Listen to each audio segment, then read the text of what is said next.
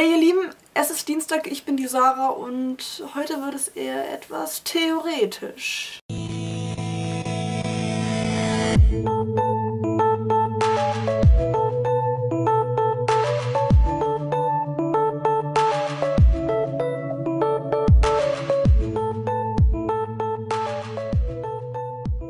Bevor ich mit dem Wochenthema anfange, erstmal Hallöchen ihr neuen Nosy Rosies. Wir haben nämlich seit gestern drei neue Nosy Rosies. Eigentlich haben wir nur zwei gesucht, aber uns haben die Videos so gut gefallen, dass wir gesagt haben, nein, wir müssen alle drei haben. Das wäre einmal die Annalena am Mittwoch, die teilt sich jetzt einen Platz mit der Mia.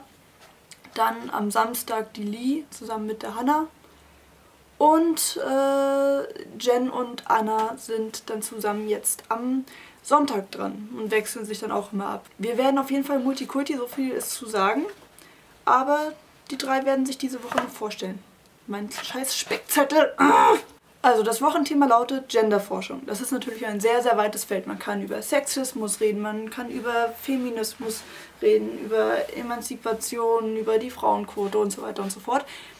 Äh, gestern hat der Thomas ein Video über äh, Feminismus gemacht und ich möchte jetzt mal ausnahmsweise, ich hoffe, ihr verzeiht mir, nicht konkret über das Thema Homosexualität reden. Ich möchte nämlich äh, eine Studie von Barbara Keddy, die 2003 durchgeführt wurde, äh, ja, so ein bisschen besprechen. Die hat sich die verschiedenen Konzepte vom Begriff Familie genommen und hat ganz, ganz viele Interviews durchgeführt, in denen sie gefragt hat, okay, wie steht ihr jetzt zum Thema Familie? Seid ihr eher familienorientiert oder eher berufsorientiert? Und da gibt es nämlich sieben Abstufungen. Und jetzt schon mal die Frage vorab, ähm, zu welcher Orientierung bzw. zu welcher Lebenswelt, so nennt ähm, Barbara Keddy das, würdet ihr euch zählen? Also ich fange mal an mit der ersten Orientierung, das wäre die Familienorientierung. Ja, das ist sozusagen die konservative Familie, wo der Mann arbeitet und die Frau einfach zu Hause bleibt. Dann gibt es noch die Berufsorientierung. Hier sind beide Partner berufstätig. Und wenn Kinder da sind, die natürlich auch eher so zweitrangig sind, dann auf jeden Fall ist, sind die Kinder Frauensache. Also wenn es Kinder gibt, dann muss die Frau sich um die Kinder kümmern. Als drittes ist zu nennen die Doppelorientierung.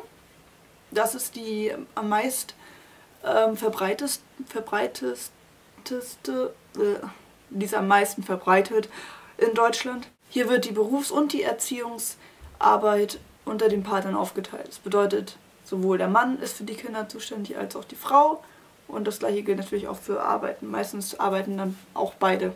Dann gibt es noch der gemeinsame Weg das Leben des einen Partners richtet sich vollkommen nach dem Leben des anderen Partners.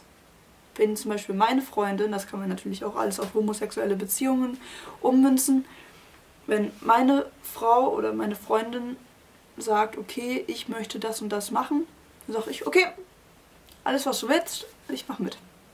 Zum Beispiel, wir wandern aus. Dann sage ich, okay, dann wandern wir halt aus. Dann gibt es noch den eigenen Weg, das ist konträr zu dem gemeinsamen Weg. Hier sage ich, nö, egal was meine Partnerin macht, ich stehe im Mittelpunkt, ich möchte mich selbst entfalten und wenn es klappt, dann klappt es in der Beziehung, wenn nicht, dann nicht.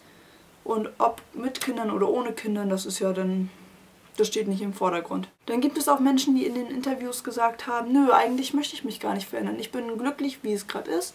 Das nennt man dann die Aufrechterhaltung des Status quo. Dann gibt es noch die Menschen, die sich überhaupt nicht im Klaren sind, wie ihre Zukunft jetzt aussehen wird. Das nennt man dann die Suche nach Orientierung. Die leben dann in den Tag hinein und gucken mal, was passiert. Hm, hier macht die Unschlüssigkeit einen großen Teil aus und meistens bekommen diese Personen keine Kinder ja, Ausnahmen bestätigen die Regel. Gut, das sind diese sieben Lebenswelten. Es würde mich mal interessieren, welche äh, du sagst, dass das passt zu mir.